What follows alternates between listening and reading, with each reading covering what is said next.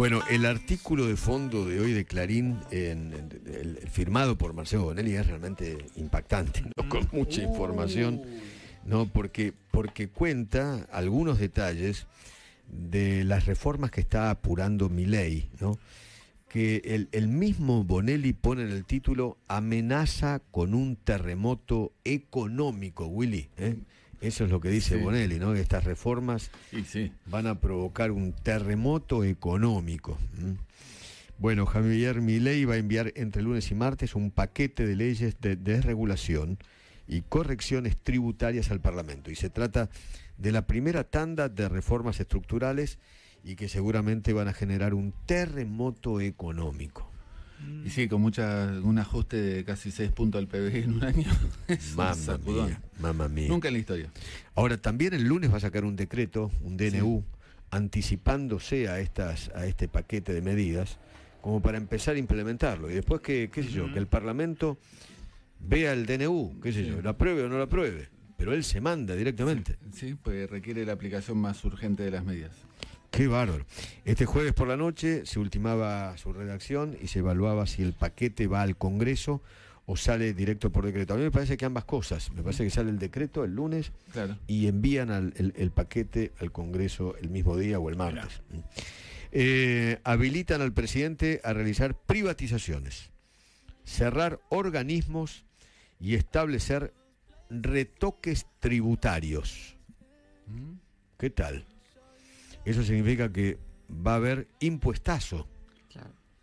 Sí, de, de hecho la- los anuncios de Caputo en Ya ese fueron sentido ya fueron, ya fueron en, en ese sentido. Bueno, dice Marcelo Bonelli que serían unas 15 medidas, perdón, que establece cambios de impuestos que afectarán la, compet- eh, la competencia en sensibles sectores industriales.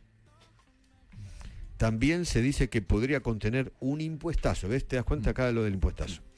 El paquete provocará temporalmente recesión e inflación. Bueno, lo que el ya- propio lo que ya presidente- tenemos hace. Sí, sí, ya, ya tenemos hace bastante. En la UIA y los bancos están alerta. Temen que haya otro impuestazo encubierto como el que anunció Caputo con las retenciones. Claro, nadie sabía de ese 15% Claro. a todo lo que se exporte. Sí, el aumento del impuesto país, ¿te acordás? A- Claro. a todos. Y A ganancias. Claro. y el IVA, ¿no? Exacto. Bueno, parece que, de- dice Bonelli, que va a iniciar este fin de semana una negociación fundamental con Estados Unidos. Uno de los emisarios ya llegó el miércoles, el otro estará aterrizando este fin de semana. Washington envió una crucial misión a Buenos Aires. Hay un señor que se llama Michael Kaplan, el subsecretario del Tesoro, ya está elaborando un memo confidencial. Este viernes también estaría llegando su superior, el superior de Michael Kaplan. Se trata del número 2 del Tesoro. Mamma mía, esto no, no había pasado, me parece nunca, ¿no? No, no, no. Y, y también manda más en el Fondo Monetario Internacional. Se trata del influyente Jay Shambaugh. ¿Lo conoces? Sí, de nombre. eh, lo que pasa estábamos tan alejados de Estados Unidos que aparecen Claro. ahora recientemente. ¿no? pero, pero este señor nunca vino a nunca, Argentina. pero no, ni- Nunca, no, nunca.